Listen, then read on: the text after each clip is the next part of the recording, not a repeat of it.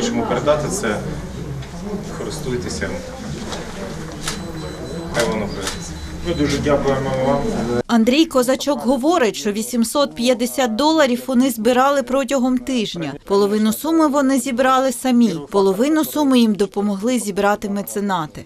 Мы собрали за неделю эту сумму. Ми на собі відчули необхідність та важливість такого обладнання, тому реакція була швидкою, і ця сума була зібрана у найкоротший час. Было собрано в кратчайший срок.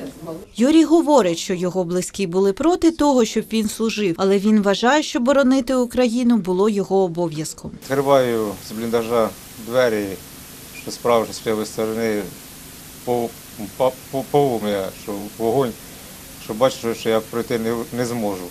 Я починаю обливати себе водою, в мене 5-літрова баклажка води була. Виливаю на себе, скільки там зміг.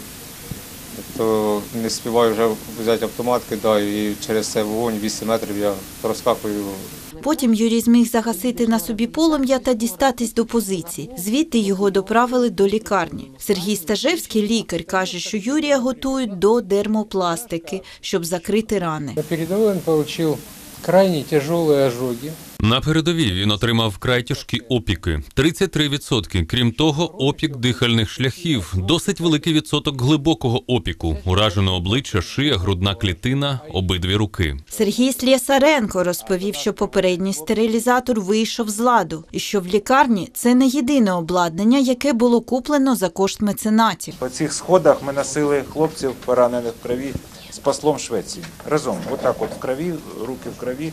Носили, після цього нам подарували мікроскоп, дуже коштовне обладнання на там на мільйони євро для мікрохірургії, і це дозволило нам вже через рік виконувати то е, такого класу операцій, про які ми не мріяли. За словами Сергія Слісаренко, на середину 2019 року відділення пролікувало понад 700 поранених. Зараз у відділенні лікується один боєць. Олена Ростовцева, Богдан Антоненко. Новини на Суспільному Дніпро.